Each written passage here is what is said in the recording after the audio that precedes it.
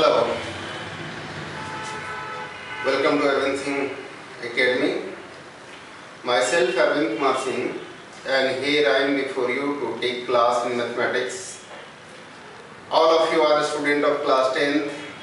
SA1 is over now, right now and you are entering in SA2. In SA2, several topics in mathematics are there like quadratic equation, application of trigonometry, similar triangle, area related to circle and some other topics are also in this session. In SA2, we will discuss all those topics which is uh, in syllabus but primarily I am going to start today one of them that is quadratic equation. So we are going to discuss today quadratic equation and I hope you will enjoy it. Quadratic equation is very very important topic for competitive examination as well. This topic is very important for IIT JEE advanced and main examination as well. There is a various application of quadratic formula in even class 11 like conic section, like permutation and combination, even in arithmetic progression. So several questions can be generated with the help of quadratic equation and various applications of quadratic equation can be dealt in higher classes as well. So it is a foundation. You must try to understand the concept behind this quadratic equation and their application as well. So there will be three parts in this chapter. First to understanding the quadratic equation. First is understanding. The second would be the application. And third is representation. Representation of quadratic equation with certain parameters and restrictions as well. So first of all, we are going to discuss today and try to understand what is quadratic equation. Quadratic equation is what? So we are going to discuss today quadratic equation. What is quadratic equation? Qua means two and dratic means order. Order or degree, right? And equation you know well. So equation of second degree order can be also dratic means degree order. So a second degree equation is called quadratic equation. What is meaning of the second degree? 2 degree. ax plus b is a linear equation. ax plus b is equal to 0 is a linear equation. Linear equation into one variable. One variable. Linear equation in one variable. What is variable here? x is variable. a and b are constant if I can write here ax plus by plus c is equal to 0, it is a linear equation in two variable. Equation in two variables. What are the variables here?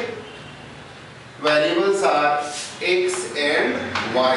These are variables and a, b, c are constant. Why this is called linear? Because power of each variable is 1 here. So if power of anyone is 1, then it is called linear equation. This is clear, right? One thing clear that if power is 1, power of what?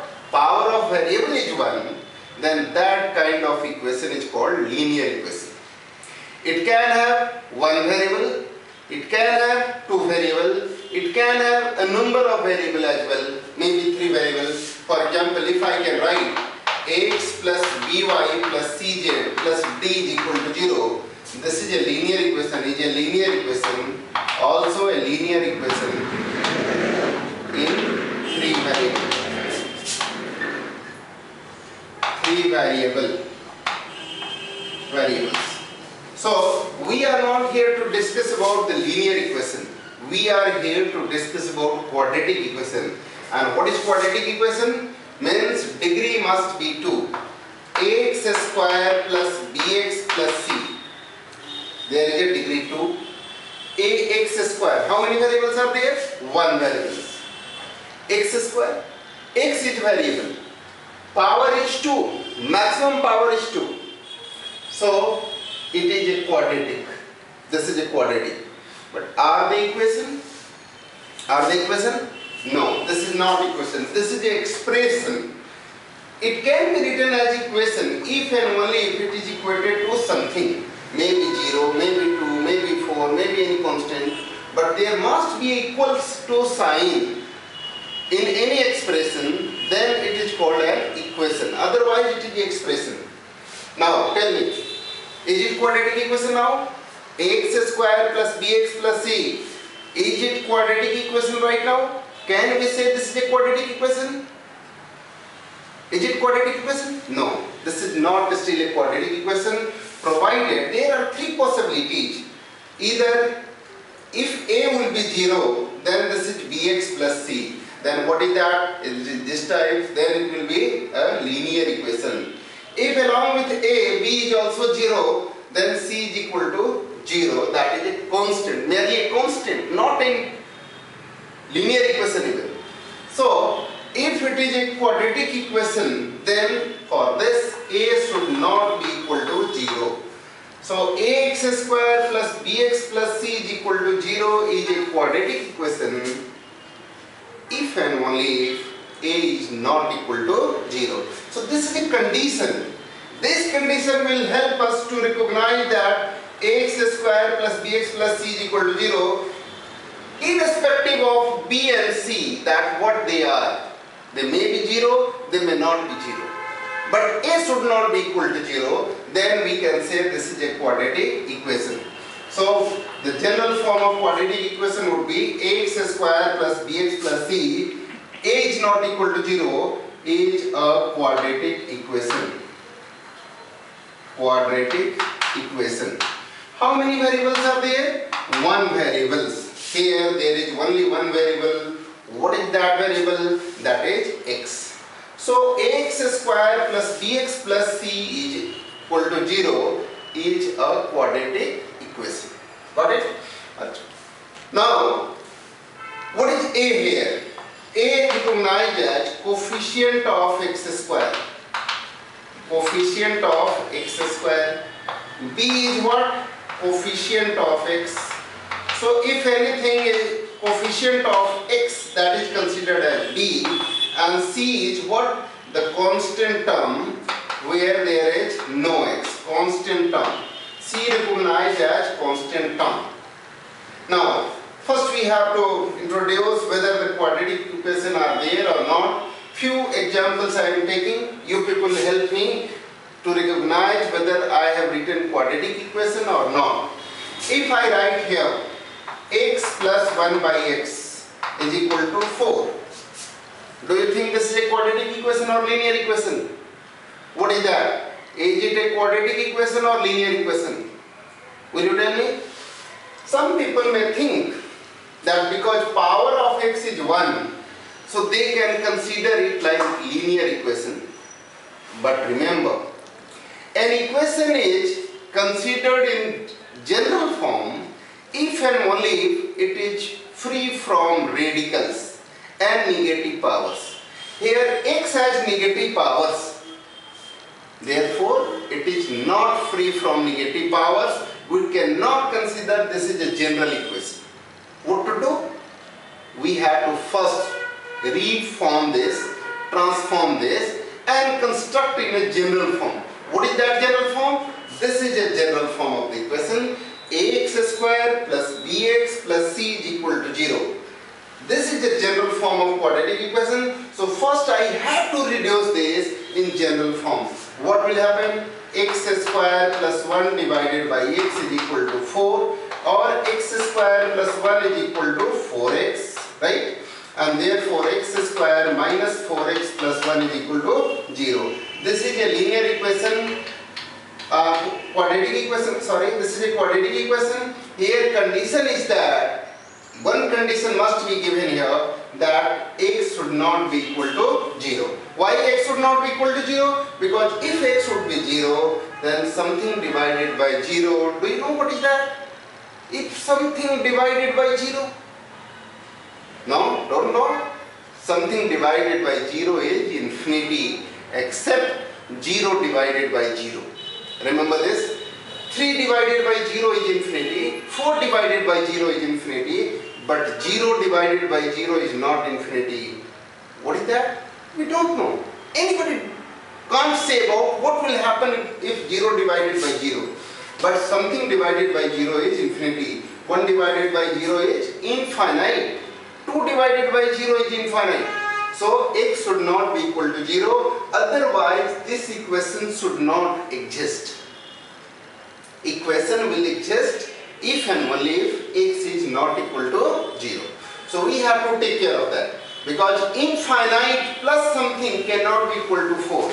In infinity, if you add anything, it will be infinity. Suppose your father has lot of money, he has not counted, he is billionaire. And you withdraw 500 rupees out of the stock, out of the cash petty. What will happen? Will he know that you have withdrawn 500 rupees out of it? Because he has not counted how much money they have, how much money he has kept. So if someone withdraw 500 out of it, he will not come to know that how much money was there and how many still is left. So similarly, out of infinity, if you withdraw something, there is infinity still left. So if you add or subtract out of infinity, it will remain infinity. Now this is a quadratic equation. This is a quadratic equation. Again, take another example. Second example is x square plus 1 by x plus 3. Is it quadratic equation? Will you say this is a quadratic equation? First we have to transform them in general form, right? What will happen? If you do like this, x cube, x square multiplied by x, x cube plus 1 whole divided by x is 3 and x cube plus 1 is equal to 3x and therefore we can write x cube minus 3x plus 1 is equal to 0 because highest power here is 3 not 2 so this is not a quadratic equation but it is a cubic equation. We can say is a cubic equation. Cubic equation not a quadratic equation. Similarly take on another example. Third root x plus 1 by root x is equal to 5 what type of this equation? Can you say this is a quadratic equation it is free from radical, not free from radical. If you write here root x multiplied by root x, it would be x plus 1 whole divided by root x is equal to 5. x plus 1 is equal to 5 root x or if you square both the sides then what will happen after squaring both the sides both the sides it will come like x square plus 2x plus 1 a plus b whole square and this is 25x. So x square minus 23x 2x minus 25x minus 23x plus 1 is equal to 0 is a quadratic equation but this one is in this form it is not a quadratic equation. In this form it is a quadratic equation, but in this form it is not a quadratic equation. Nature of equation will change. If you square or cube any algebraic expression, then nature of equation might be changed. For example, if there is only one root, then two root may come. If you square it will be quadratic. What is root? I will tell you. Just keep patience. I will tell you what is the root. I have discussed 2 root will come. Means 2 value of x will come. What is that? Let me explain. So third example is this. Now taking some other examples, will you say 3x square plus 5x plus 9 is equal to 0, ax square plus bx plus 5 is equal to 0, x square plus 3x minus 11 is equal to 0, x square plus x plus 1 is equal to 0 are all quadratic equations. Now, we have to find the value of x. That is called root of the equation or zero of the equation. But let me introduce what is the value and when it will satisfy. I have discussed with you that if we square any equation, the nature of equation will change. How? Let me explain this. What I said that if you square anything, then nature of that equation will change. Then I will come back to this square and all roots of the equation. First let me show how the nature will change and what will happen.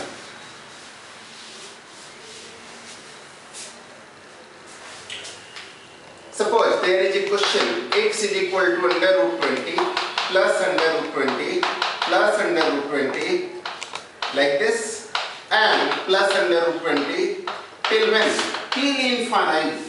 Infinite under root 21 inside other has been given and you have to solve it. So suppose someone has to solve it, solve this x under root 20 plus under root 20 plus under root 20. What is the power here? What is power of x? Do you agree? Power is 1. So there could have only one value. There will be one and only one value of x because it is a linear equation. x is equal to something written and therefore it is a linear equation but here infinite numbers are given how to solve this equation. Just to solve this equation someone can suggest you that because as I told you out of infinity if some terms 1, 2, 3, 4, 5 even 1000 terms if you reduce or eliminate from it it will still remain infinite. Got it? So similarly if I square this number let me solve it. This example if I am going to square it this is the question. What will happen? On squaring x will be x square. And if you square the whole thing root will remove so what will happen? 20 plus under root 20 plus under root 20 plus under root 20. Just upper root will be removed and it will come till infinite. Now, can we write this expression equal to x again? Because it is infinite, not 3, 4, 5. We are not able to count them, that how many 20s are there in fact. So can we write this x as well? Yes, we can write we can write because it looks similar like if I close this, this and this are same. So can we write like this? Yes, x. Now x square minus x minus 20 is equal to 0. We know middle term split. Can I write minus 5x plus 4x? Because minus 5x plus 4x will remain minus x. Minus 20 is equal to 0. You have studied this in class 9 that we can split the middle term. Even in class 10th also there was in beginning of linear equation there is such questions. So we can do that. Now if I took x common from here what is left? Out of x square. If I took x common what is left? X now x yes. And out of 5x if I would have taken x common then what is left? 5 now 4 I can take common x minus 5 is equal to 0. I can take x minus 5 common from here and here both. So what is left from this side? x. What is left from here? 4 is equal to 0. Product of two linear factors is equal to 0. It means one of them is certainly 0. Because you have studied this that 0 multiplied by anything is 0. Because two linear factor is 0 and therefore one of them certainly is 0. But which one is 0? Do you know that? Which one of them is 0? No, you don't know. So let me tell you that either this is equal to 0 or that is equal to 0. If this is equal to 0, x can have 5 and if that equal to 0, x can have 4. So here two answers came. One answer is x is equal to 5 and other answer is x is equal to minus 4. Right? Now, two answers came. But it was a linear equation and linear equation can have one and only one answer. It cannot have two answers. Right? So, which answer is not correct? Because we have squared this function, therefore nature of the function are changed. Initially it was linear equation, now it become quadratic and quadratic equation has two value of x which will satisfy the equation. So therefore there are two values. But this value will not satisfy the equation. It will not satisfy the nature of the equation. What is the nature? If I put here x is equal to 5, then 5 square is 25 and 20 plus 5 is 25. So 5 satisfy this equation. Yes, that's true. If I put x is equal to minus 4, minus 4 whole square is 16 and 20 minus 4 is again 16. So that will also satisfy this equation. Because it is a quadratic equation, there are two values of x which will satisfy the equation. Because of squaring, the equation become quadratic equation and therefore there are two roots. But initial equation was linear which can have one and only one root. So which one of the value will suited to the initial equation or original equation? 5. Why 5? Why not minus 4? Because sum of positive numbers cannot be negative under any circumstances. It is a 420, square root of 20, that is 4 point something. Plus something plus something, it can have value more than 4, that is 5 is possible, but minus 4 is not possible. So sum of positive numbers cannot be negative since sum of positive terms positive terms cannot be negative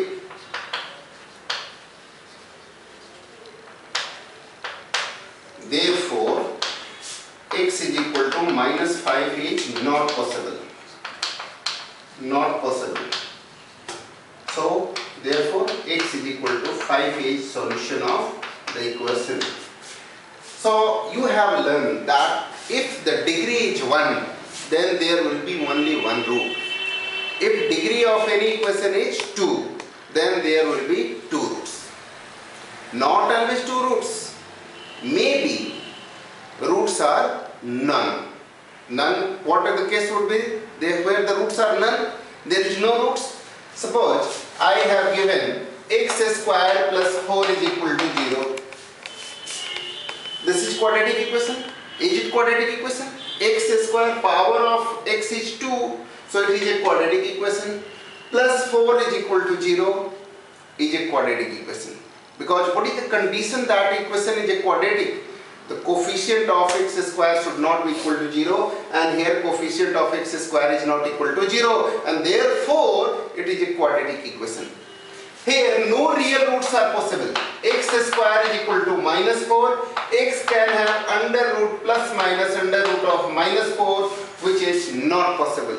So here if x square is negative, no real value of x are there which will satisfy the equation. In this case, what I can say? there is no real roots.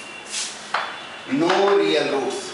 No real roots. No real value of x which will satisfy the equation. You can't find any value of x which will put here and it will become 0 because 4 plus something cannot be equal to 0. 4 plus something will be greater than 4. 4 plus x square. x square is also a positive number because what any value if you will take as value of x after squaring it, it would be positive. And positive plus 4 cannot be equal to 0. So there is no such a real number which is in existence that will satisfy the quadratic equation. It means minimum number of real roots is 0. Maximum number can have 2. Take on another example to clarify this. Suppose x square minus 4 is equal to 0. So we can write x square is equal to 4 and x is equal to plus minus root 4 that is plus minus 2. x is equal to plus minus 2. Right? So plus minus 2, x is equal to 2 and x is equal to minus 2 are two solutions which will satisfy this equation. If I put x is equal to 2, then 2 square would be 4 and 4 minus 4 is 0. If I would put x is equal to minus 2, minus 2 whole square is 4 and 4 minus 4 is 0. It means there are two values which will satisfy the equation. Then the value of x which will satisfy the equation, they are called zeros of the equation and that is also termed as roots of the equation. So here 2 and minus 2, 2 and minus 2 are zeros of the equation, zeros of the equation. It means after putting this values of x 2 or minus 2 equation become 0. Zeros of the equation and also called roots of the equation. Roots of the equation. So what is root? In fact, I am going to take on this example that what is the root of the equation. This is fourth and this is fifth example. That's what I have taken here. So roots of the equation. What is the roots of the equation? That let me explain this and then I come to this point that how you can calculate the roots of the equation. Roots. We have seen in this previous example that the roots of equation roots of equation are the value of x value of variable say x variable say if equation in x which will satisfy the equation satisfy the equation and nature of the equation nature of the equation satisfy the equation and nature of the equation why I said nature of the equation because in previous example we have seen that x is equal to under root 20 plus under root 20 plus under root 20 there are two value of x came after squaring 5 and minus 4 minus 4 do not satisfy the nature of the equation and that is why it was rejected. Right? So, here the nature of the equation should be also satisfied. Equation and any equation of degree n has n roots? No. Any equation of degree n degree n has n n roots no more. More than n roots are not possible. Roots may be n maximum n. So quadratic equation can have maximum two value which will satisfy the equation but more than two values are not possible. Got the point? Minimum 0 we have shown in the example that x square plus 4 is equal to 0 in that there is no value of x which will satisfy the equation. But minimum value 0 maximum value was 2 but more than 2 value are not possible as the 0 of the equation now let me discuss what is the roots but sometimes there are exceptions as well if I say there are more than two value which will satisfy the equation. Let me uh, show you one example what is happened. Let us consider one example x minus a and x minus b. Upon c minus a c minus b. Plus x minus b x minus c. Upon a minus b a minus c. And this is x minus c x minus a. Whole divided by b minus c b minus a is equal to 1 it is given that a is not equal to b is not equal to c but all of them are real number then value of value of what or this equation what will happen what can you say about x minus a is a linear equation and x minus b is also a linear equation. Product of two linear factor will turn out in a quadratic form. Product of two linear equation will be what? Quadratic equation. x into x will be x square, nothing else. Got the point? Similarly here also a quadratic equation, here also a quadratic equation. This is a constant which has hardly, hardly contribution in terms of degree. Constant has no contribution in terms of degree